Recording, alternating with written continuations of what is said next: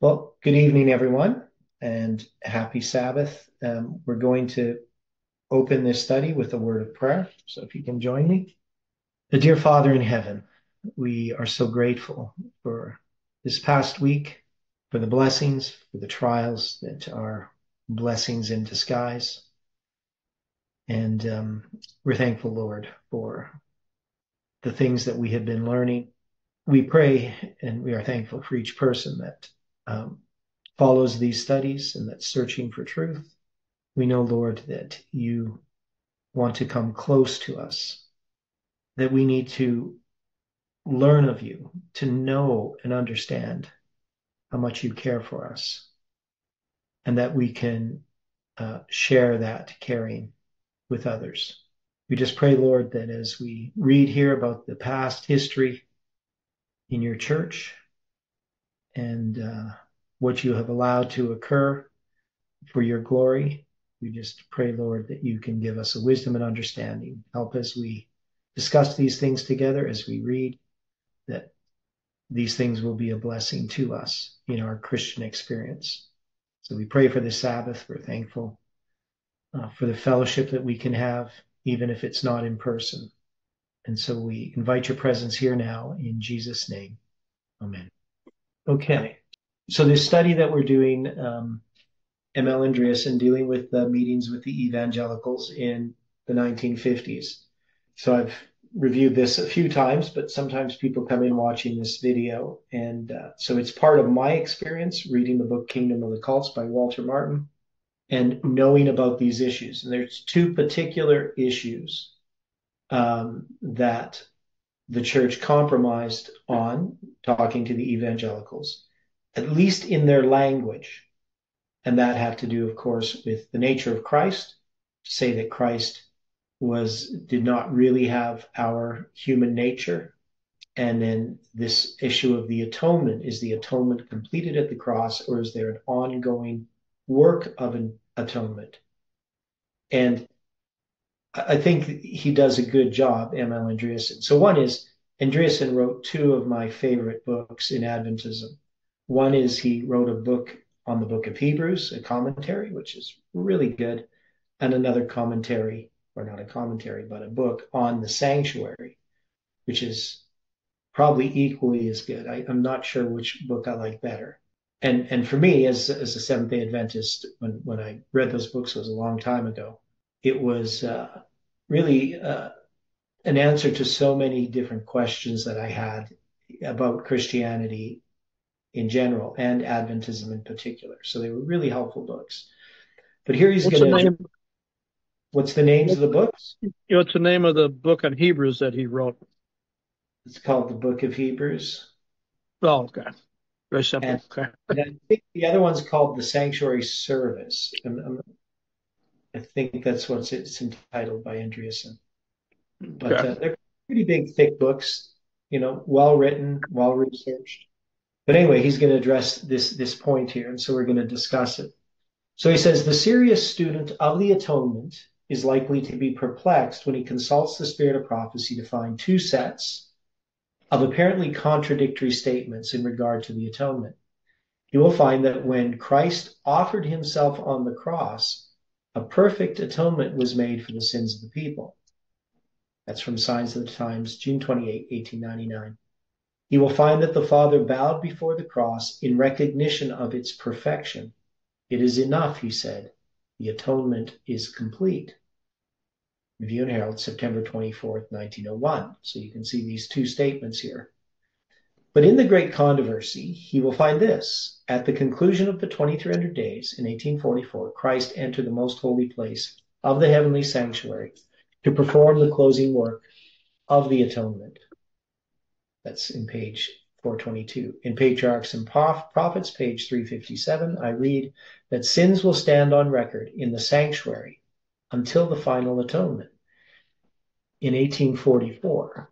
Um, and then page page five 358 states that in the final atonement, the sins of the truly penitent are to be blotted from the records of heaven.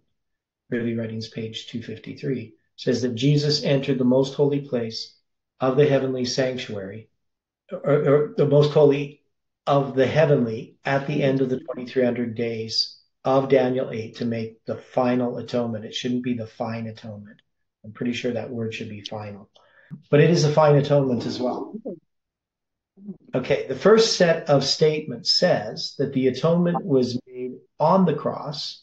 The other says that the final atonement was made 1800 years later. I've found seven statements that the atonement was made on the cross, and I have 22 statements that the final atonement was made in heaven. Both of these figures are doubtless incomplete, for there may be others that have escaped my attention. It is evident, however, that I may not accept one set of statements and reject the other if I wish to arrive at truth. The question, therefore, is which statements are true, which are false, or are they both true? If so, how can they be harmonized? Now, when it comes to harmonizing statements, you know, uh, I run into to people sometimes who take a statement, um, you know, Adventists, and they'll take some statement by itself and any other statement that contradicts that statement, seemingly contradicts it, uh, they reject, right? That some people have a hard time recognizing that there are limitations in language that sometimes makes apparent contradictions. So sometimes what they will do is they will say, well, Paul was right here, but this other statement that he made is wrong. Or, you know, Paul was right, but James was wrong. Right. So people are, are going to sometimes, you know, sometimes what I express, you know, I maybe don't express it as clearly or there's limitations in language.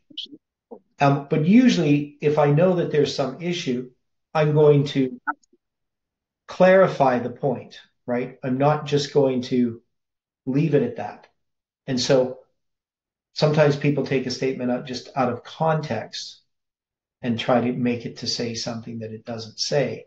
So we have to be really careful in this. So when we talk about a statement being harmonized, we, we do it with scripture, we do it with spirit of prophecy, we do it with anything. People, people, people generally, you know, don't contradict themselves, right? Sometimes they just don't express themselves in a way that that is clear. Sometimes it appears that we contradict ourselves. I remember one time, you know, uh, I grew my hair long, and uh, some people at church were wondering about it. And my best friend at the time, he was there when three different people asked me why I grew my hair long. And I gave three different answers. And he says, you know, why didn't you just like, why did you lie to some of them? Like, what's the, what's the real answer? I said, well, all three answers are actually correct. I had more than one reason why I grew my hair long, but I, different people, I told different reasons because of who that person was. So some of them I told, you know, a more humorous reason and some I told a more serious reason, right? So there's a humorous side to it and there's a serious side to it. So, so even when we, when we communicate with people, sometimes, you know, we, we don't tell everything about a topic. We, we say something because there's some particular point we want to make. Um, but if that's to be examined or we're going to be cross examined by someone, you know, they might feel that we we contradicted ourselves. You know, um, well, you said this another time to me. Why did you say that to this person? Sort of thing. And and so sometimes it's the audience that you're speaking to. Sometimes it's the context in which you're speaking. And and we all know this, right? We all know that we we, we say things that in a certain context we mean, but we wouldn't mean it in another context. Okay, so so things have to be clarified. But some people don't like to do that. Some people look for contradictions as a way of rejecting something that rejecting either what that person is saying completely or rejecting that person. And and I don't think that we should do that with people. We shouldn't make a man an offender for the for a word. Right? And and we need to be uh, when we're communicating with other people, we need to we need to be um, gracious in how we and and if somebody says you know says something that we we think that that it's wrong or whatever and, and they we have to give them an opportunity to explain it i've had many times where people i said something and somebody says well you said such and such And I said, Well, I didn't mean it that way. Well, words only have one meaning. And that's what they said, which of course is not true, right? Do words only have one meaning? No, they have lots of meanings, right? So, you know, you can't make it a man an offender for word. But it's also the same with the spirit of prophecy. You have to be gracious and, and look at how she clarifies things. And so, and the same with the Bible. Okay, so anyway, Andreasen goes on. Um, and of course, anybody can comment anytime they want or ask questions. Correct me. I was perplexed when, in the February number of the ministry in 1957, I found the statement that the sacrificial act of the cross was complete, a complete, perfect, and final atonement. I just turn my dinger off my phone. Now, this is in distinct contradiction to Mrs. White's pronouncement that the final atonement began in 1844. I thought that this might be a misprint and wrote to Washington calling attention to the matter, but found it was not a misprint, but an official and approved statement. If we still hold the spirit of prophecy as an authority, we therefore have two contradictory beliefs. The final atonement was made at the cross, and the final atonement began in 1844. So he's going to look at the definition of atonement.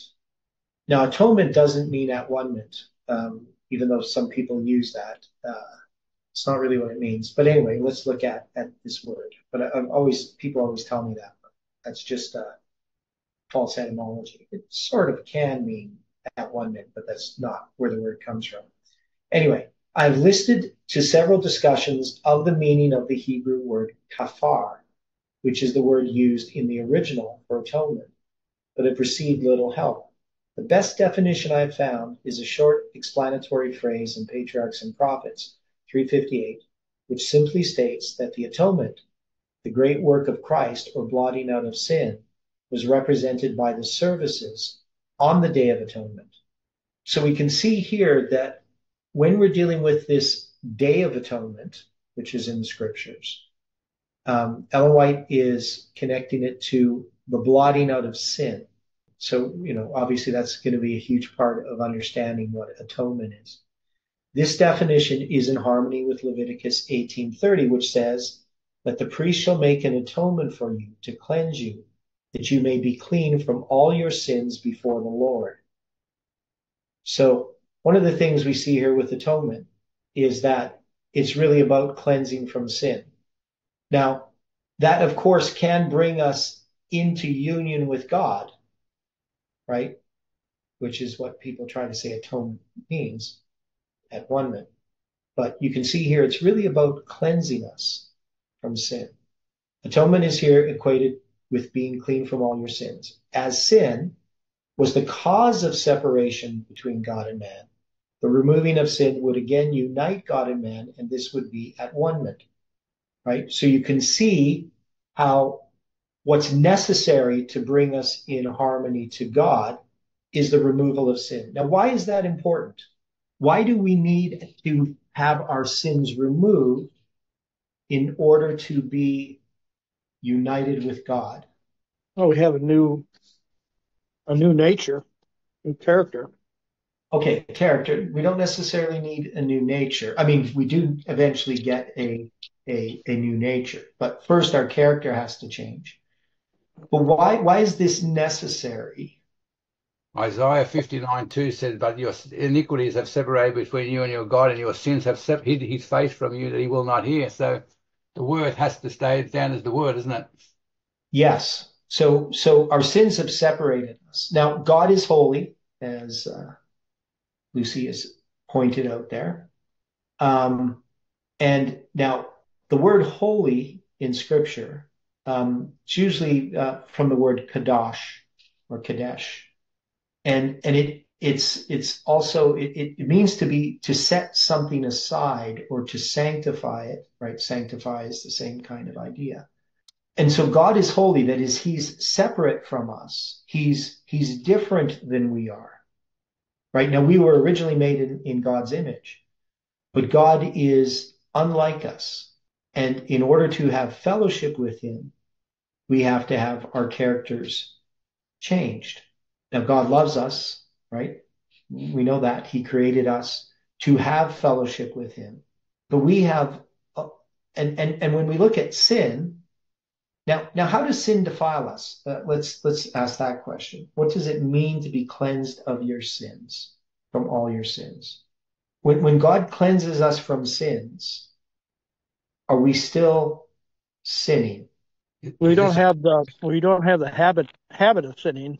Okay, well, I mean, well, I don't think it's just about a habit of sinning. I mean, to be cleansed from our sins, ultimately, that ultimate cleansing, we're not going to be sinning in heaven.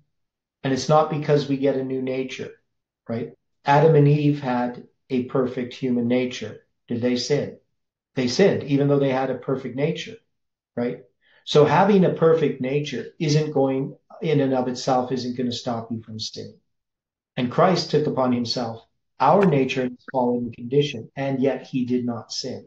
So, so when we look at atonement to be cleansed from all of our sins, the blotting out of sins, often uh, I've seen people talk about, okay, in, in, in the Lord's Prayer, Jesus says, Thy will be done on earth as it is in heaven. Jacob's ladder, Christ is the ladder that connects heaven and earth, right? He's fully God and fully man there's something that's happening in heaven because something is happening on earth. Can God just magically wave his hands and us all be cleansed from sin? God is molding a people now, and um, it's it's it's it's the same as we we we're following Jesus' footsteps. Isaiah 59, sorry, 57, 15, I think is a good example. For thus saith the high and lofty one that inhabiteth eternity, his name is holy. I dwell in the high and holy place with him also that is of a contrite and humble spirit, to revive the spirit of the humble and to revive the heart of the contrite one. I believe that's going on now. Mm-hmm. Yeah, that's one of my scripture songs, by the way. Well, okay. I didn't hear that one. I did write a scripture song with that verse on my first scripture song album. Um, I did a sermon on that song, on that verse. Yeah. Jeff, you had a comment? Uh, no. Okay. Yeah. So, so God he dwells in a high and holy place, but he also dwells with us. That is, Jesus is, that's why Jesus became fully God, or not became, that he's fully God, that's why he became fully man, so he could connect heaven and earth. And, and he did this to redeem humanity. Now, some people have the belief that God, well, there's different types of beliefs. Um, you know, there's a thing called forensic justification and there's um, legal justification and there's different theories. Some people believe that God just chooses some people to be saved and some people to be lost. So some people are going to be in heaven and some people aren't just because God arbitrarily chooses who he's going to save and who he's not going to save. There are some who believe that um, that we're not really saved from our sins, that you know God just pretends that we're righteous so that we can go into heaven. You know, he just looks at Jesus and and and there's some truth to that in some ways, right? Because all of us have sinned, right? All have sinned and come short of the glory of God. So that means we will have had been sinners prior to entering into heaven. But we're not going to continue to be sinners in heaven. Right? We will not continue to sin on earth either, Theodore. I think that's the, the biggest part. Well, right. Well, the, the, because if we were continuing to sin, now this has to do with the issues of the great controversy, which which is all a part of this. So we know that um, uh, God's character has been maligned by Satan. Satan's the accuser of the brethren as well. So he's an accuser, and he accuses God and he accuses God's people. And Christ uh, temporarily takes the responsibility of sin upon himself. So God is not responsible for sin. In some ways, he is because he created us and he gave us a free will. So in some ways, he's responsible, but he's not responsible in a moral sense. This, this is something I know is always very controversial, Theodore. I've had lots of arguments about this. When you say you have to stop sinning, uh, the, the Seven Day Adventist doctor, um, believe that we'll be sinning till Jesus comes in the sky. And I say, well, how can that be? It doesn't make sense. But they say, well, we can't stop sinning. I say, well, Jesus said, uh, you know, he, he can forgive sins. So how do we? This doesn't make sense. But we have to under, we have to live it. That's what life's about. Yeah, he can save us from our sins, and it's not just from the consequences of sin, but from sin itself, because sin is definitely not a friend. And I mean, that's the whole reason I'm a Christian is I want to stop sinning.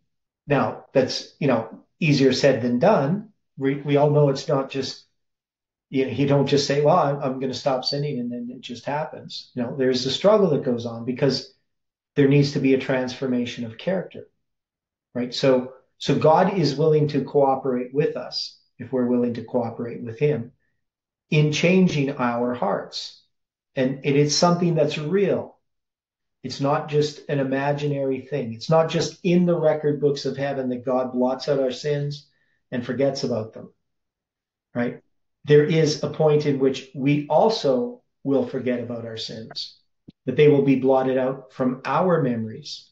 We will not re- remember ever sinning, right? So, so this blotting out of sins, this whole work of atonement of removing of sin, is is not just a one event. There's lots involved in it. It's a, a process that's demonstrated in in the work of the sanctuary, all the way from the offering all the way to the Day of Atonement. Um, so uh, Christ did not need any atonement, for he and the Father were always one. John 10, verse 30. Christ prayed for his disciples that they may be, may all be one, as thou, Father, art in me, and I in thee, that they may be one in us. John 17, 21. The definition of atonement as consisting of three words at one is by some considered obsolete but it nevertheless represents vital truth. Mrs. White thus uses it. Says she, unless they accept the atonement provided for them in the remedial sacrifice of Jesus, who is our atonement at one with God. So you can see, obviously, though that's not the real use of the word, it is um, like it's a false etymology. It definitely describes part of that process Right. It's something, though, Theodore, if we think about it, this is what we need with Christ. You know, we can we, we can learn to be one with Christ, or we can learn to learn to be a seven day Adventist. You know, we're not going to be saved if we're a seven day Adventist. We're going to be saved if we're one with Christ. We and, can't be one with Christ if we have sin.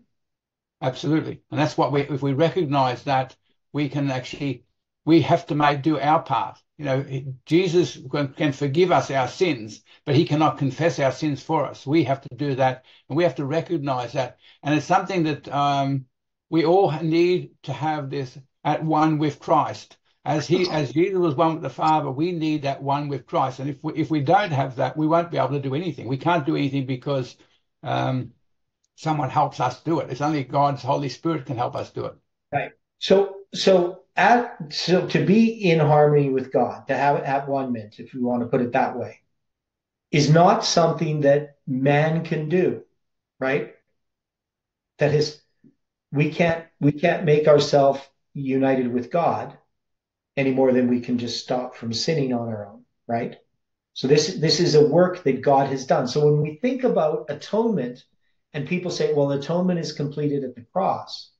Well, it obviously isn't complete right? Because we're not at one with God, right? So when people talk about atonement in that sense, they're not really understanding what atonement is, right? That is, we throw around this word, Christians throw it around, you know, the atonement was completed at the cross, but yet we can see it's not completed, right? Because we're not all in harmony with God presently.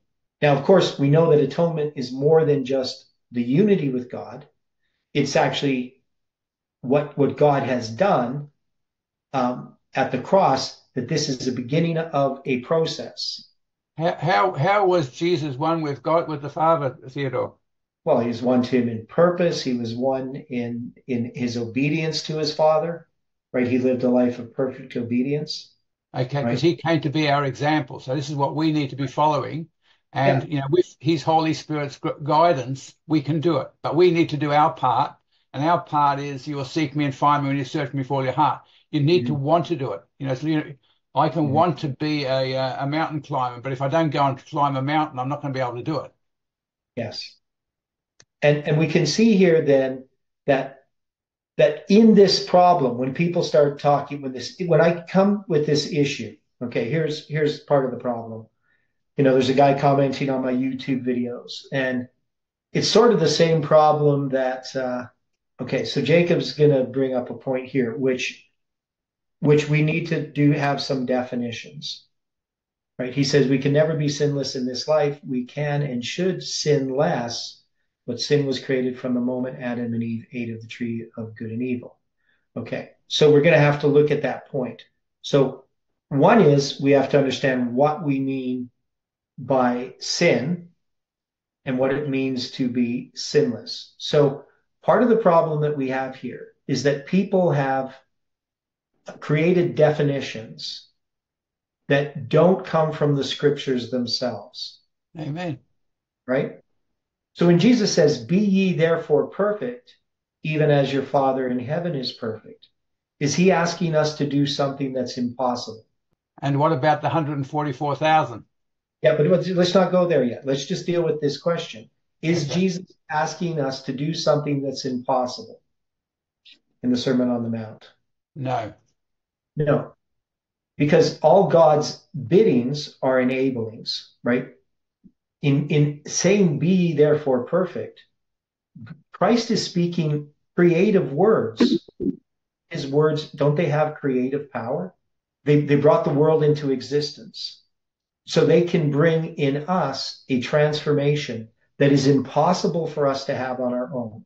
So we know Adam and Eve sinned. Sin came into the world through one man, through the first Adam. And salvation has come from the second Adam. Christ came and brought salvation. And, and the question is, how does that come about? And so lots of times when people are dealing with these words, like even the word perfect, perfect, now Christ is not talking about creature perfection. He's not saying that um, if you do your math exam, you're never going to make a mistake on your math exam. You know, you'll always get 100% on every test you ever do, right? That would be creature perfection. That type of perfection is not possible in this world, right? But we can have a perfection of character. And, and even if we have a perfection of character, definitely if we do have a perfect character, we will not see ourselves as righteous because we'll know that anything that, that comes from us is comes from our connection with God. And, and our responsibility is to see ourselves as sinners, right? So so the problem that I found through the years, because I read lots and lots of Christian literature before I became an Adventist, and I've read uh, lots of things after, where people argued about this point. And what I did is I just looked at what the Bible said. So, you know, Felix brought up a good quote here. I can do all things through Christ, which strengthens me or strengtheneth me, right? So we know that we can overcome sin in Christ. We can't overcome sin in ourselves. But the question is something real. Do we under, really understand what, what atonement is? What Christ came to do? That, that's the real issue. And I think that this has been something that has been so, so misrepresented, so clouded, that is all kinds of uh, garbage has been heaped upon this issue that the people often react to it because they've been pre-programmed to think that certain words mean certain things. But we need to define our words based upon the scripture. So, so anyway, let's continue reading here. God's plan is that the fullness of that in the fullness of time he might gather together in one all things in Christ. Ephesians 1:10. When this is done, the family of heaven and earth are one. Desire of Ages 835. Then one pulse of harmony and gladness beats through the vast creation. Great Controversy 878. At last, the atonement is complete. So he's going to go here into these two phases of the atonement. So much confusion in regard to the atonement arises from a neglect to recognize the two divisions of the atonement. Note what is said of John the Baptist. He did not distinguish clearly the two phases of Christ's work as a suffering sacrifice and a conquering king. Desire of Ages 136, 137. The book Questions on Doctrine makes the same mistake. It does not distinguish clearly. In fact, it does not distinguish at all. It does not seem to know of the two phases, hence the confusion. The first phase of Christ's atonement was that of a suffering sacrifice. This began before the world was, included the incarnation, Christ's life on earth, the temptation in the wilderness, Gethsemane, Golgotha, and ended when God's voice called forth Christ from the stony prison house of death. The 53rd chapter of Isaiah is a vivid picture of this. Now, so when we think about this, this is one thing I think that is really important because when did the cross begin? Now we see it manifested on earth when Jesus is crucified. But when did Christ begin suffering for sin? The Garden of Eden. Okay, I would even think before that because it I says think in, basically when the, when in the The Father, the Son, foundations of the world. Yeah, so he's the lamb lamb slain from the foundation of the world. That is, even before sin began, Amen. Isaiah Christ- 8 talks about the Father and the Son making a compact that if sin came into the world, basically uh, Jesus would take the take the, the place of the sinner. Yeah. So, and, and we have a hard time understanding God and in eternity and all these types of things. But what we do know is that God, in creating man, recognized before he created man that, that he had to suffer. And not just the son suffers, the father suffers as well, right? The whole Godhead suffers because of sin. Amen. Before I had children, I understood that my children coming into the world would suffer because life has suffering. I didn't know how much they would suffer or when they would suffer, how long they would live, what their life would be like. But I understood on some dim level, because I was only 18, that, you know, having a child was not going to just all be happiness. I knew enough about life that, that that there's all kinds of things that can go wrong in life. There's all kinds of suffering that can happen. You know, people can have mental illnesses, people can have other illnesses. Uh, lots of things can happen, disappointments. And yet, because of love, God created man. And, and God has been suffering ever since. What we see at the cross is the suffering that God has experienced. God is not unaffected by our suffering. He is very affected by it.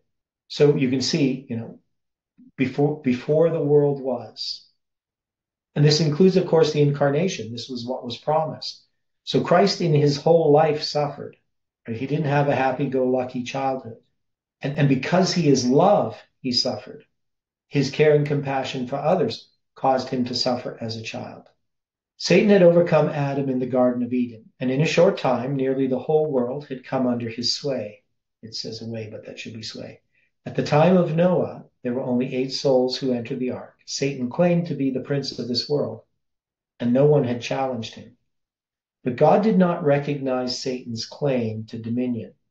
And when Christ came to earth, the Father gave the world into the hands of the Son, that through his mediatorial work he may completely vindicate the holiness and the binding claims of every precept of the divine law.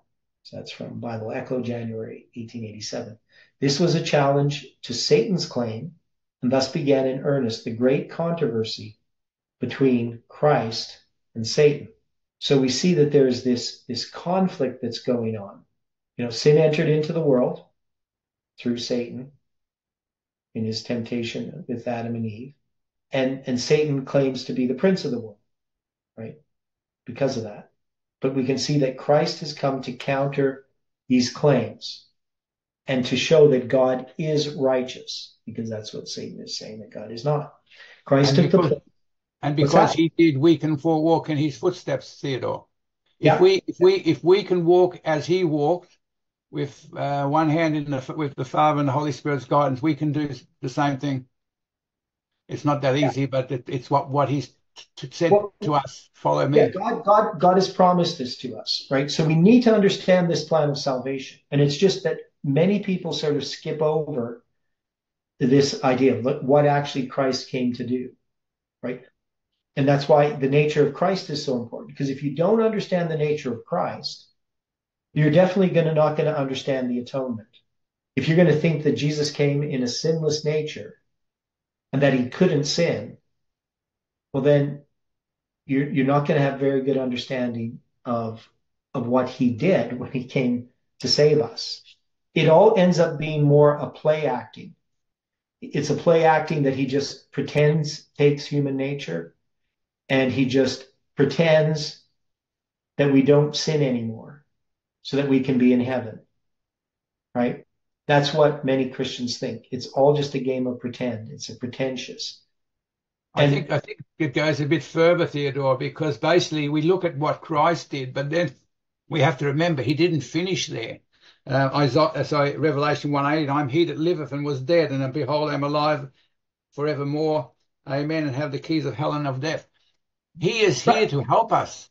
As as he had the Father and the Holy Spirit helping him, he's here to help us. And he was tempted in all points like we are. So if we can understand that, you know, we're going to have to go through what he went through. He went through hell. Well, we call it hell, but basically he was one with the Father. So basically we need to be the same. And if we can stay as he stayed with his um, faith and trust in the Father, he can get through. We can all get through. Okay. Yeah. So Christ took the place of fallen Adam with the sins of the world laid upon him. He would go over the ground where Adam stumbled. Review and Herald, February 24th, 1874. Jesus volunteered to meet the highest claims of the law. Again, from that same document, uh, or I guess it's it's from Review and Herald, but September 2nd, 1890. Christ made himself responsible for every man and woman on earth. Again, from Review and Herald, February 27th, 1900. So Christ has taken the responsibility of sin upon himself. Now, how is how are sins put placed upon Christ? How, how does that happen? John 1 9, First John 1 9, sorry. Okay, what's that one say? Uh, if we confess our sins, he is faithful and just to forgive us our sins and friends, us from all unrighteousness. Oh, okay. So, yeah. So obviously there was a confession made in the sanctuary when a, a, a person who recognizes that he has sinned takes an offering. He's going to confess that upon the sins of the animal. He's going to lay his hands on the animal and transfer his sins to the animal. And then he's going to slay the animal. And then the, the priest brings the blood into the sanctuary, depending on whether he's an individual or a priest or a ruler, or if it's just on the behalf of the congregation. Different things are going to be done with that offering, right? If, with the blood. But um, the thing is, it's symbolic, right? It's it's when, when you when you deal with the sanctuary and you confess your sins, there's a whole bunch of symbolism that's being used.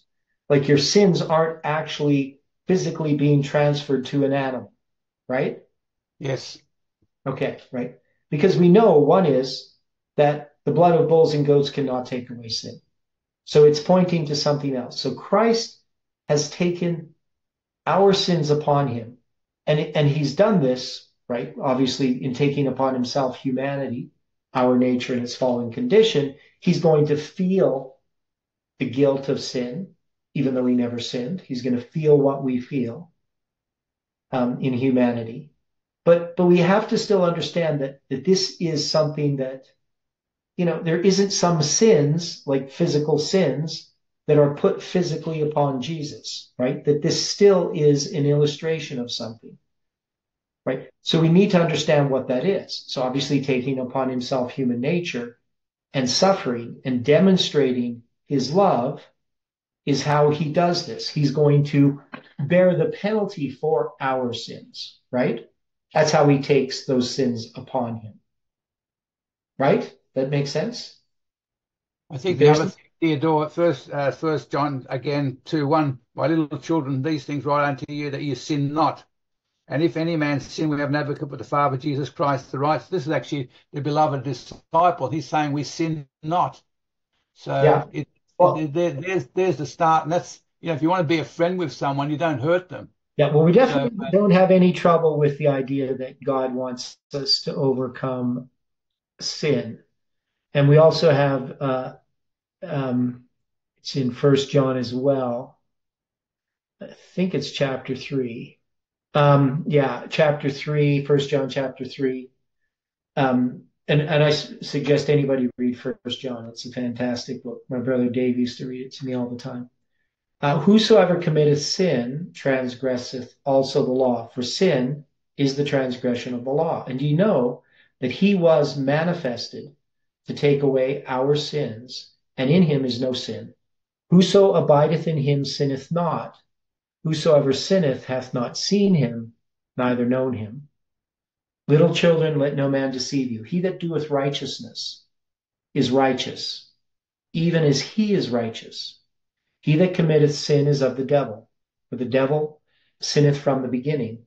For this purpose the Son of God was manifested, that he might destroy the works of the devil. Whosoever is born of God doth not commit sin, for his seed remaineth in him, and he cannot sin because he is born of God. Now, so obviously, if we're looking at these, we're talking about statements that harmonize. We need to take all of the statements of Scripture and look at how, how the Scripture defines this. So, so obviously, we know that, that we are sinners.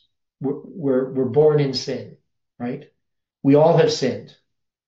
And we can't change the past. When we come to Christ, we ask Him to forgive our sins he takes the punishment of those sins upon him. But also in this exchange, Christ is beginning a work of transformation of our hearts, of our characters, so that we can be motivated with the same love that Christ had. Are we going to have, are we going to make mistakes? Yes. But are we going to willfully sin against God?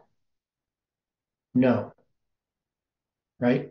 there comes in our experience, however it is, and we're not going to know that it's happened, but we will have a transformation of character. And that's what God promises. But we don't look to that. We don't look at ourselves to see that. We look to Christ because we know it doesn't come from us. So, so we can see that Christ has taken these sins upon himself. He's made himself responsible for every man. So, as Satan claimed ownership of the earth, it was necessary for Christ to overcome Satan before he could take possession of his kingdom. That means Christ has to defeat Satan. Satan knew this and hence made an attempt to kill Christ as soon as he was born. However, as a contest between Satan and a helpless child in a manger would not be fair, God frustrated this, right? So obviously, Christ had to continue to grow into a man, right? To be our sacrifice. The first real encounter between Christ and Satan took place in the wilderness. After 40 days of fasting, Christ was weak and emaciated at death's door. At this time, Satan made his attack, but Christ resisted even unto blood, and Satan was compelled to retire defeated. But he did not give up. Throughout Christ's ministry, Satan dogged his footsteps and made every moment a hard battle. Right? So Gethsemane. Uh, the climax of Christ's struggle with Satan came in the Garden of Gethsemane. Hitherto, Christ had been upheld by the knowledge of the approval of the Father. But now he was overpowered by the terrible fear that God was removing his presence from him. That's from the Spirit of Prophecy, Volume 3, page 95. If God should forsake him, could he still resist Satan and die rather than yield? Three times his humanity shrank from the last crowning sacrifice. The fate of humanity trembled in the balance. That's from that book, page 99. As the Father's presence was withdrawn, they saw him sorrowful with a bitterness of sorrow exceeding that of the last struggle with death. Desire of Ages 759. He fell dying to the ground, but with his last ounce of strength murmured, if this cup may not pass from me except I drink it, thy will be done. A heavenly peace rested upon his blood-stained face. He had borne that which no human being could ever bear. He had tasted the sufferings of death for every man. In his death, he was victor.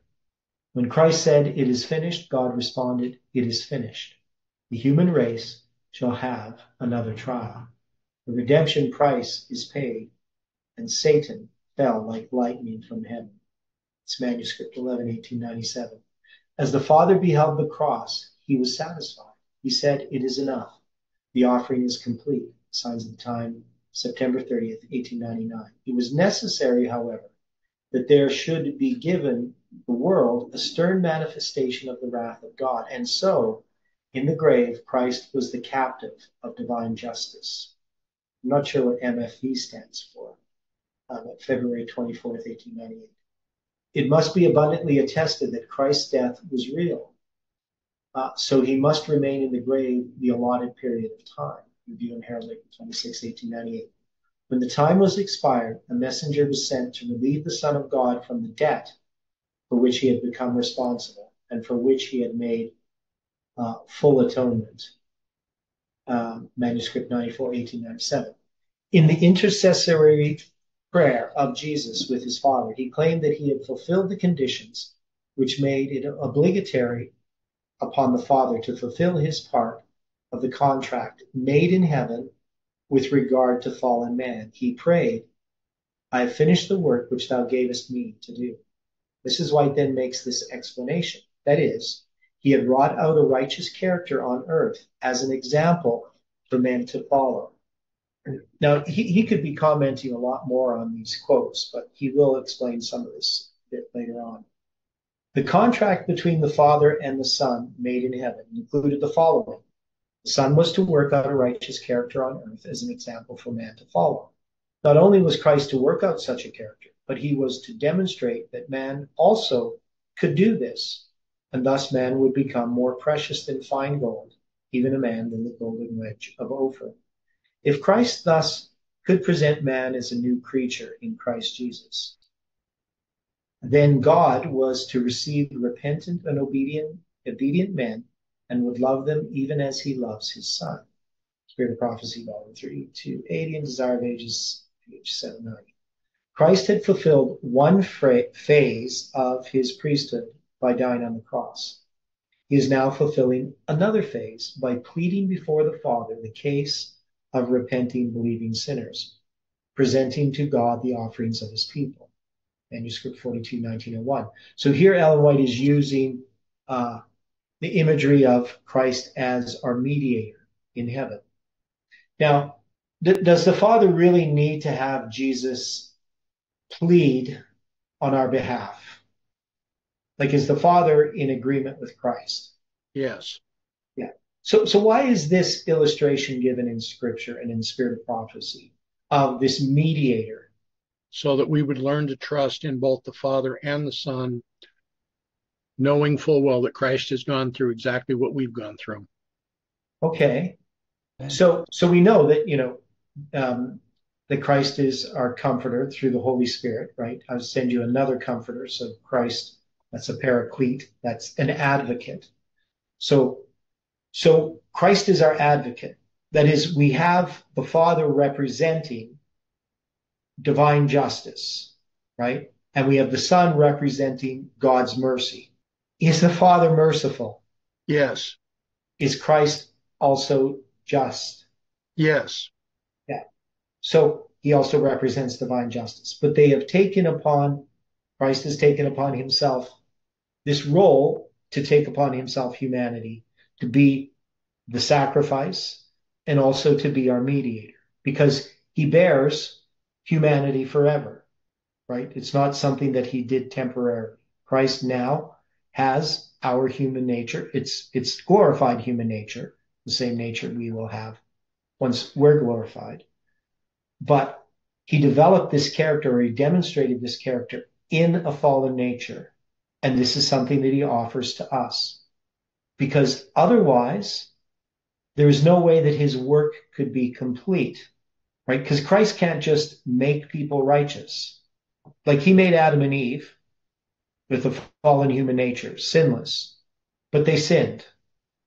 So that means there's something more that has to happen in humanity if we're going to be eternally secure in heaven.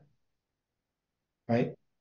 It, it, to me, it's just very simple. It's not, not a complicated idea, but it's not something that's commonly known. It's not thought through. Okay.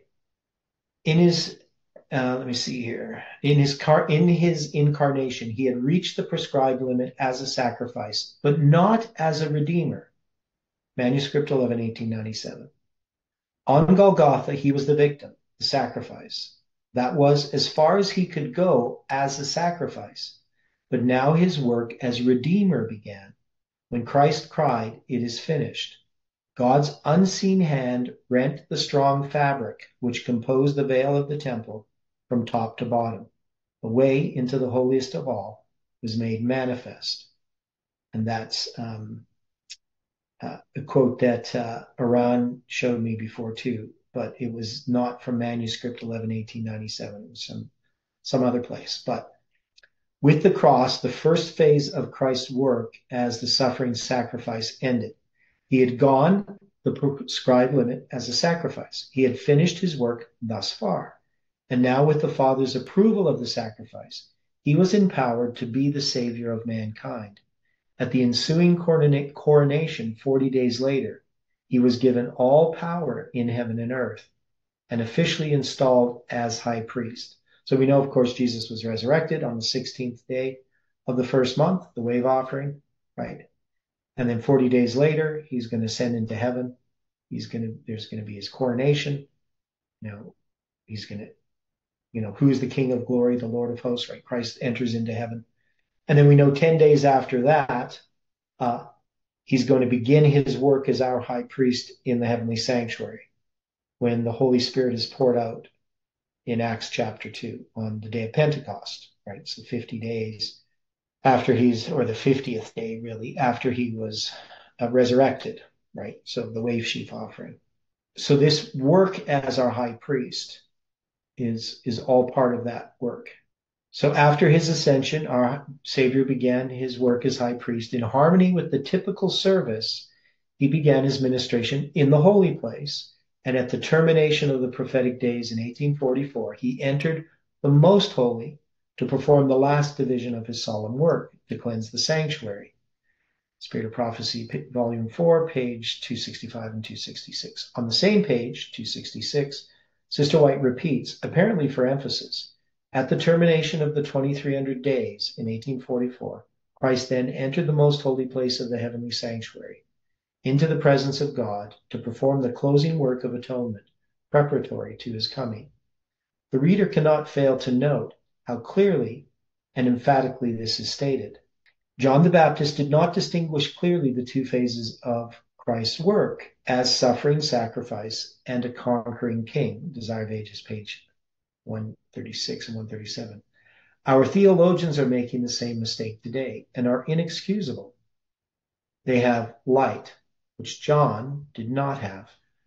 In studying this part of the atonement, we are entering a field that is distinctly Adventist and in which we differ from all other denominations. This is our unique contribution to religion and theology, that which has made us a separate people and has given character and power to our work. Counsels to Writers and Editors, Editors, page 54. In the same place, she warns us against making void the truths of the atonement and destroying our confidence in the doctrines which we have held sacred since the third angel's message was first given. Now, I've told this story many times, but when I first became an Adventist and I started studying on the sanctuary, uh, I wanted a commentary on the book of Hebrews. And so I went to uh, the Christian bookstore in Edmonton they used to have a really big one. Canadian Bible Society had a huge one at one time. And uh, I went and looked at all the commentaries on the book of Hebrews. And none of the commentaries noticed that Jesus was our high priest, even when they're commentating, com- commenting on the verses that talk about Christ being our high priest. They seem to miss it. And uh, I remember once uh, I had a guitar student. I went to uh, can't remember what it was. It was, I think he was going on a mission trip or something like that. And they had a, a party of some sort. And I, I, went to this party, my guitar student's party. And um, there was an old guy there. And he was talking with some of the young people about the sanctuary. He says, nobody knows that there's that Christ is our high priest in the sanctuary in heaven. Now, this guy was not a Seventh day Adventist. Uh, I think he was a Baptist I'm not certain, but but he he liked to talk a lot about the sanctuary and Christ as our high priest, and uh, I was kind of surprised, you know, because most Christians don't notice this. But this work, if you think about the sanctuary, because it's typical of the work of salvation, we know Christ came at his first coming to fulfill the spring types, right? Christ came and died at the time of the Passover. That's in the spring, right? He poured out the Holy Spirit on, on his disciples on the, on the day of Pentecost. That's in the spring. But the fall types, the Feast of Trumpets, the Day of Atonement, the Feast of Tabernacles, they are typical of the events connected with the second coming, correct? Agreed. Yeah. I remember there was this one uh, evangelist, and he, he had been a Pentecostal and he became an Adventist. And this to him was the most amazing thing when he understood about the spring and fall types, uh, something that he had just never noticed before. And you know, it it's it's kind of interesting because it's once you once you see it, you can't unsee it. It seems so obvious. But for many Christians, they just have all of these things, all are fulfilled at the cross. Everything's, you know, the Day of Atonement's fulfilled at the cross, the Passover's fulfilled at the cross, every single sacrifice. Now, it is true, the sacrifice is only done once. Christ doesn't have to die over and over again. But there's so many different sacrifices and so many different uh, symbol, symbols that are being used throughout the sanctuary that aren't all fulfilled at the cross. The sacrifices for each of these happens once. Does that make, I mean, that, that should make sense to us, hopefully, you know, as Seventh day Adventists, but also to anybody, you know, watching this video who's unfamiliar. And, you know, and of course, I've been having discussions with people who keep failing to see this. And even when I explain it to them, maybe they don't want to see it. I don't know. I can't always understand why some people persist in in in uh, stating some of the things they do, even though I explain again and again that we don't think these things that you accuse us of thinking. But you know, it's just sometimes it's difficult to communicate. So anyway, this is vital counsel and written for this very time when efforts are being made by some among us to have others believe that we are like the churches about us, an evangelical body and not a sect. Paul in his day had the same heresy to me. He was accused of being a pestilent fellow, a ringleader of the sect of the Nazarenes, Acts 24:5. In his answer before Felix, Paul confessed that after the way which they call a sect, so serve I, the God of our fathers, believing all things which are according to the law and which are written in the prophets. That's Acts 24:14 from the Revised Version. In those days, men spoke sneeringly of the true church as a sect, as men do now. Paul was not disturbed by this. We have no record that he attempted to have the church of the living God recognized as an evangelical body by men who trampled the law of God in the dust. On the contrary, whatever they might call him and his sect, he confessed that he believed all things which are written in the law and the prophets, verse 14. So this was the thing that I found when I became an Adventist, is that generational Adventists, at least, didn't really like being called a cult. And, you know, I, I guess I kind of understand it. But the thing is, you always have to consider who's who's name calling, right? You know, do you really have respect for somebody who's who's not going to take the time to understand? Uh, I remember when I first became an Adventist, I read lots of anti-Adventist literature, uh, you know, seeing what other people said. And um, I remember this one book, and, and, and it's still published. I, am always amazed that, you know, you can go buy this at Christian bookstores. But, you know, it talks about how Adventists believe in this, uh, this prophet, Mary Ellen White, who uh, predicted that Jesus was going to come back in 1843. And when that prediction failed, she said he was going to come back in 1844. When that prediction failed, she says he came secretly to the earth. And um, there's all these things.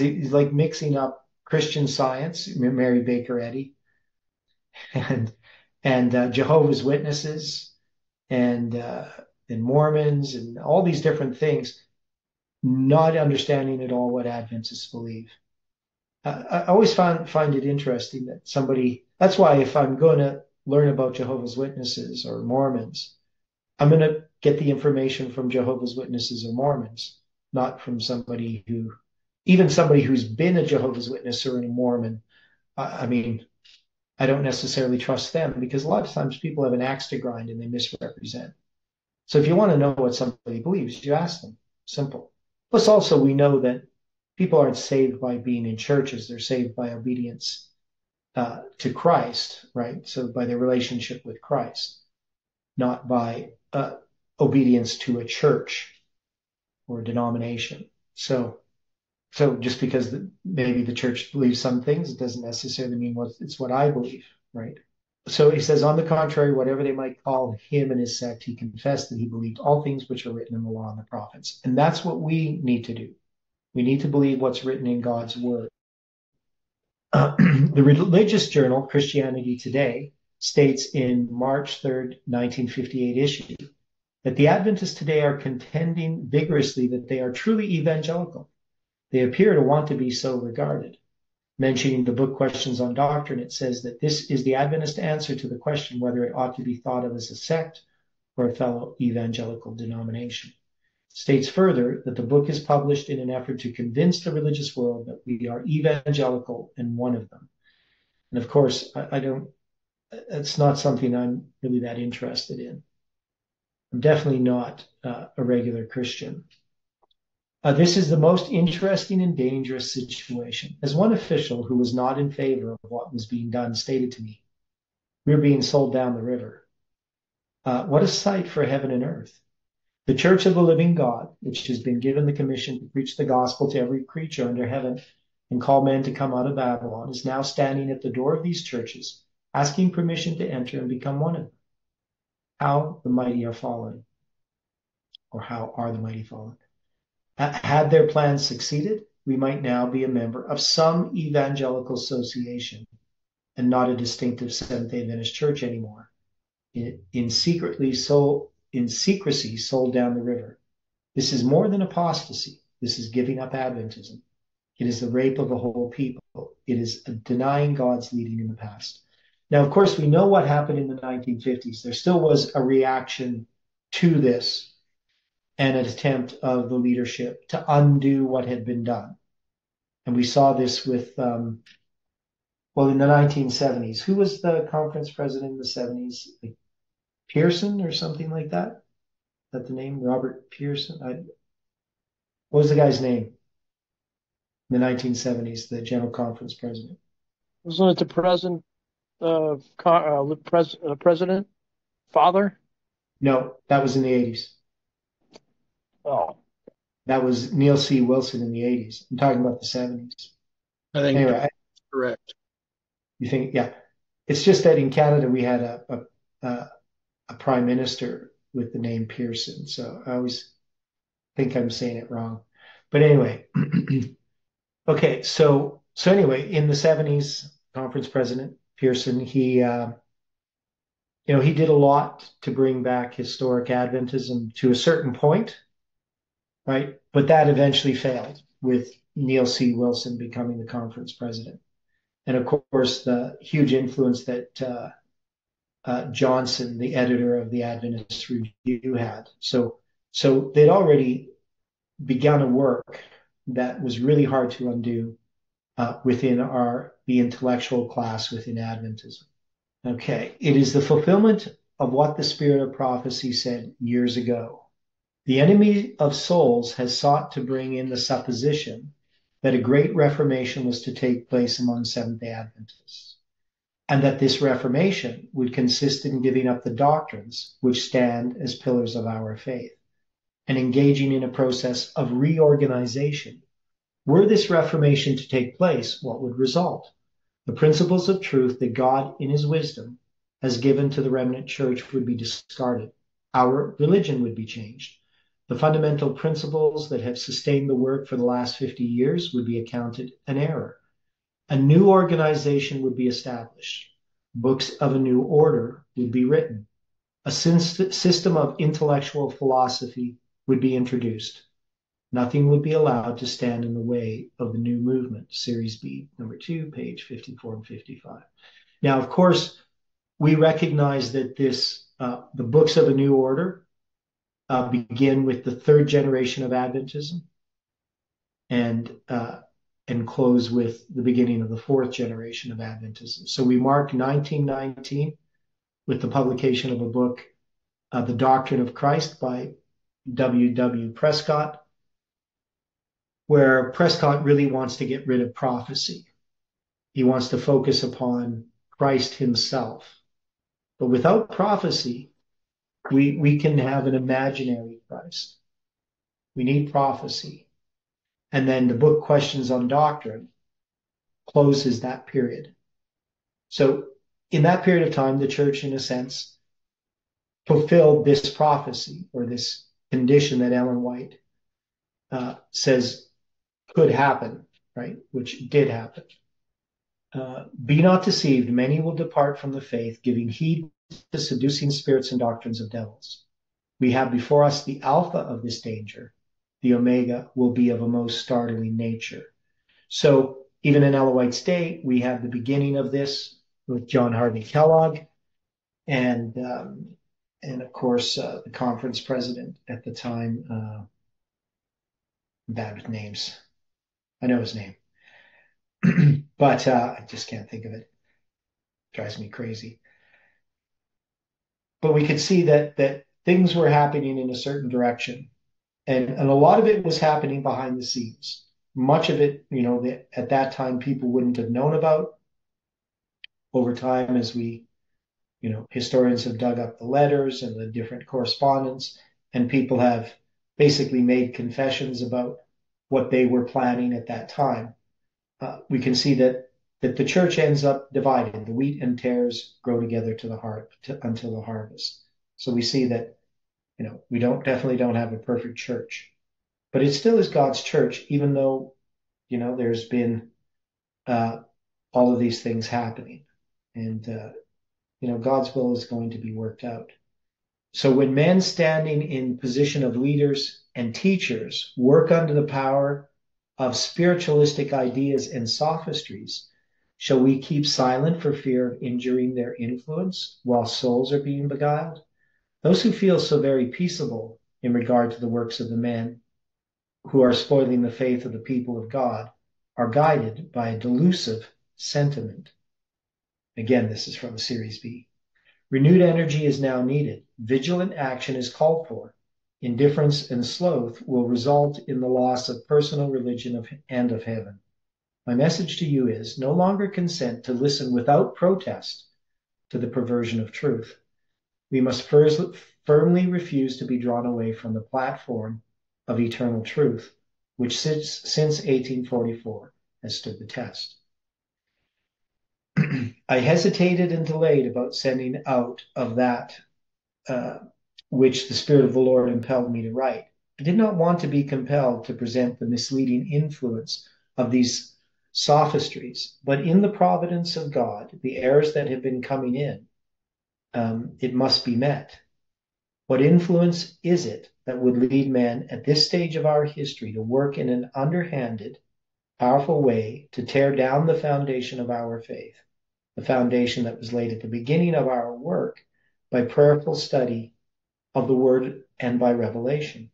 Upon this foundation we have been building the past 50 years.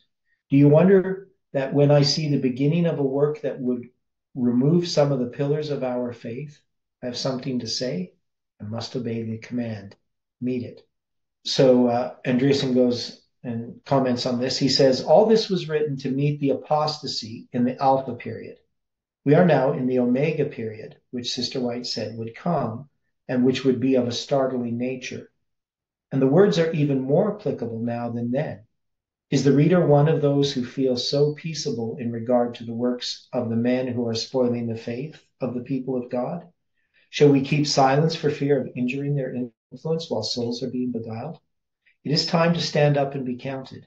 There are times when I have been tempted to think that I stood alone as did Elijah, but God told him that there were 7,000 others. There are more than that now, thank God. They need to reveal themselves, and they are doing it. Most heartening are the letters I am receiving. It is with deep regret that I find I am unable to enter into extended correspondence. I, am, I am overwhelmed with the work. Okay, so we're going to have a bit more time here for commenting. I just want to read a few bit more here on this, and then we'll discuss some of this. Okay, Christ's death on the cross corresponds to the moment when the Day of Atonement, when on the Day of Atonement, the high priest had just killed the Lord's goat in the court. Uh, the death of the goat was necessary, for without its blood there could be no atonement. But the death in and of itself was not an atonement, though it was the first and necessary step. Okay, Sister White speaks of the atonement commenced on earth. Says Scripture, it is the blood that maketh atonement, Leviticus 17:11. And of course, there could be no blood until after the death had taken place. Without blood administration, uh, without a blood ministration, the people would be in the same position as those who on the Passover slew the lamb but failed to place the blood on the doorposts. When I see the blood, said God, I will pass over. Exodus 12:13. The death was useless without the ministration of the blood. It was the blood that counted. So so when we look at Christ's death on the cross, when Christ died at the cross, it was at the time of the evening sacrifice, correct? At the time of the Passover. Agreed. So Christ didn't die at the time that the Day of Atonement would happen. He didn't die in the fall. But his death on the cross still corresponds with the sacrifice of the Lord's goat on the Day of Atonement, correct? I hadn't thought of it that way. Well, every sacrifice in the sanctuary points to Christ's sacrifice. Now, I, am going to disagree with him, though, a little bit. So, if Christ came and fulfilled the spring types, he came at the right time. And we're in the time of the fall types. What does the Lord's goat represent? Because it's on the Day of Atonement. It's not part of the, the yearly service. What, what, what, what was the cry that came from Christ's lips when he was on the cross? There's a few things, but one in particular. It is finished. Into thy hand I commend my spirit. How about, my God, my God, why hast thou forsaken me? Who else is going to uh, quote from the first verse of Psalm 22? The 144,000. Yeah, the 144,000, that same cry will go from their lips. My belief is that the Lord's goat on the Day of Atonement represents the completed work of Christ in his people because that is necessary to cleanse the sanctuary. So if we think about it, Christ comes in the spring types. He's he's the sacrifice, and that you know, and, and he represents all the sacrifices. So obviously he represents the Lord's goat as well, but he also has to have that work completed. So on the Day of Atonement, the Lord's goat, which has no sins confessed upon it, its blood is going to go into the sanctuary to cleanse it from all of its filthiness, right? So the blood's going to be sprinkled all over. Then Christ comes without sin, right? Because when he comes the second time, because those sins that have been cleansed from the sanctuary are going to be placed upon the head of the scapegoat, Azazel, which represents Satan then bearing his responsibility for being the instigator of sin. So this idea, which is uniquely Seventh day Adventist, now there are other people who have said that the scapegoat represents Satan, but many Christians think the scapegoat represents Christ. But the sanctuary has already been cleansed. And, and it's this, this typology that really explains why Christ has not yet come back. There's a work that has to be completed. Now, we know that many people are going to die who who have you know not completed a work of character development right they've begun that work right but they still will be in heaven how is it that they're going to be in heaven they didn't have the opportunity to complete complete that yeah so you know like the thief on the cross he didn't have an opportunity to develop a christ-like character Right. You know, the, the one that, you know, Jesus said, I say unto you today, you shall be with me in paradise. Right. Um, and we've looked at this before, but Hebrews chapter 11, we know that the faith chapter, and, and this is sort of the kind of where we're going to end. today, but it's something I want you to think about. Now, faith is the substance of things hoped for, the evidence of things not seen.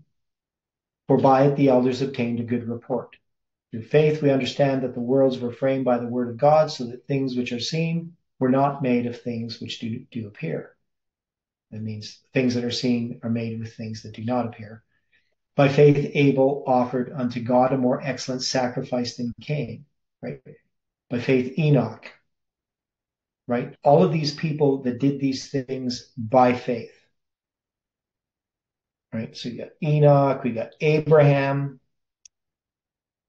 and, and it says in verse 13, these all died in faith, of course, except Enoch, um, have not having received the promises, but having seen them afar off, and were persuaded of them, and embraced them, and confessed that they were strangers and pilgrims on the earth. Right. So obviously Enoch's not included there because he didn't die. Um, and then it's going to go through by faith Joseph, by faith Moses, all of these things that they did, and then just starts listing um, you know all the different things that happened to the Israelites. They passed by faith, they passed through the Red Sea. By faith, the walls of Jericho came down. And what more shall I say? For the time would fail me to tell of Gideon, of Barak, of Samson, of Jephthah, of David also, and Samuel, and the prophets, who through faith subdued kingdoms, wrought righteousness, obtained promises, stopped the mouths of lions, quenched the violence of fire, escaped the edge of the sword, and out of weakness were made strong waxed valiant in fight, turned to flight the armies of the aliens. Women received their dead raised to life again. And others were tortured, not accepting deliverance, that they might obtain a better resurrection. And others had trial of cruel mockings and scourgings. Yea, moreover, of bonds and imprisonment. They were stoned, they were sawn asunder, were tempted, were slain. With the sword they wandered about in sheepskins and goatskins, being destitute, afflicted, tormented of whom the world was not worthy. They wandered in the deserts and mountains and in dens and caves of the earth. And these all, having obtained a, a good report through faith, received not the promise. Now, why have they not received the promise? Tells us in the next verse. God having provided some better thing for us, that they without us should not be made perfect. So what's so all these people that have died in faith who are going to come up in the resurrection of the righteous. Now Jesus has um, some uh, samples, so to speak, of people from each generation that are in heaven now, that were resurrected at his re- resurrection. Right? Talks about that in John. I'll just read to you from um, letter 203, 1905. Okay. Salvation in the last hour of life, hours of life. Some among the redeemed will have laid hold of Christ in the last hours of life. And in heaven, instruction will be given to these who, when they died, did not understand perfectly the plan of salvation. Christ will lead the redeemed ones beside the river of life and will open to them that which while on this earth they could not understand. Mm-hmm. Again, letter, letter 203, 1905. Right. So when we look at this issue of the great controversy, God is going to choose some people who we apparently would say, well, that person lived a terrible life. Why are they in heaven? And then there's going to be some people that, you know, appear to live a, live a good life. And God's going to say, no, that person's not, not suited for heaven. That is, God can judge the heart. He knows, he, he knows who is suitable for heaven. Right? So when he declares the righteous are righteous and the wicked are wicked, and the righteous don't turn from their righteousness, and the wicked don't turn from their wickedness. And then we have the, the seven last plagues. And the wicked don't change, and the righteous don't change. We know that God, we have confidence then that God can judge, that his, his assessment of humanity is correct. That final generation finishes a work that is Christ completes his work of atonement in his people. Do, do we see that? Amen. Yeah. That that what Jesus accomplished at the cross has to be demonstrated. That it's real. That it wasn't just some make believe where he, he pretended to take on human nature. He pretended to suffer. For those who have faith, we know it's real, but it has to be demonstrated to the wicked as well, because the wicked have to accept their punishment. They have to be able to see that God is just and a justifier of those that believe in Christ. So this, this is this whole issue to me of the great controversy of what of the plan of salvation as understood by Seventh day Adventists has been so maligned, even within Adventism, that many Adventists don't know about this. I mean, we, we take it for granted, you know, those that study. But many people have come into the church, and even people have been raised in the church and have never heard the gospel. And they live a nominal Christian life that is in name only. And, and we, we don't want to just be called Christians and take the name of the Lord God in vain. We're going to take God's name. We need to live as Christians. Doesn't mean we see ourselves as perfect. Doesn't mean that we're going to not continue to recognize things in our lives that need to change. Doesn't mean that we're not going to have a struggle with sin. Doesn't mean that we're sometimes uh, going to be overtaken by the enemy, caught by surprise, and things that we're just not aware of. But those are all part of God's purifying work. He's allowing us to go through these trials so that we can develop a dependence and trust in Him that will be unshakable for eternity. Amen. I think Andreasen does a very good job in what he's doing in this uh, readings we're doing here uh, Theodore. He's explaining, yeah. and we can see the characters coming out here. And I've I've read his book on the sanctuary too, and I I recognise in it what I recognise in Ellen White's book. There's there's something that we have to understand that God God will guide us on this journey. Yeah.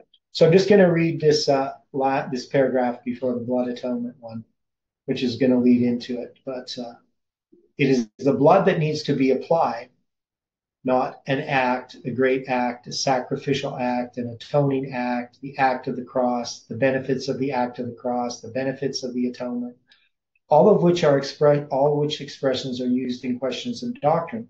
But any reference to the blood is carefully avoided. It is not an act of any kind that is to be applied. It is the blood. Yet in all the 100 pages in the book dealing with the atonement, not once is the blood spoken of as being applied or ministered. Can this be merely an oversight or is it intended? Are we teaching a bloodless atonement? Elder Nichols states the Adventist position correctly when he says, We believe that Christ's work of atonement was begun rather than completed on Calvary. Answers to Objections, page 408. This was published in 1952. We shall be interested to see what the new edition will say. Many are waiting to find out what they are to believe on this important question. So anyway, we we'll leave it there for now. Uh, any final thoughts before we close with prayer? I was going to say Andreasen did also write the book uh, Isaiah, the Gospel Prophet, which was a very yeah. good book as also. I didn't enjoy it as much as the other ones, but uh, okay. But you know, that's just it was a long time ago I read it. But yeah, he did write that one as well, which which I think he had actually written it in connection with the Sabbath School Quarterly. If I remember correctly. It was a study on. That's right. That's right. Okay. Well, let's close with prayer. Dear Father in heaven, Lord, we come to you.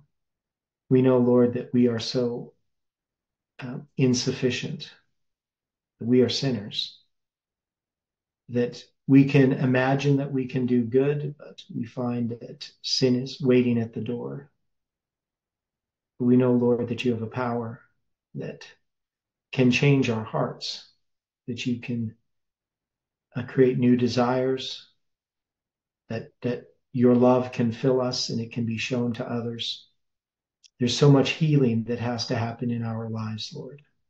Sin has done a work upon us, but we know that Christ has come to redeem us and to bring us into communion with you. So we give our hearts to you, Lord. We ask that you can take them, that you can you can complete the work that you have begun. Help us to trust and entrust you with that work. Be with each person. May your angels watch over them. May you help us moment by moment, day by day. And we pray for the Sabbath. We pray that we can come together tomorrow and continue to learn of you. Give us a good rest and bless each one. We pray and ask in Jesus' name. Amen.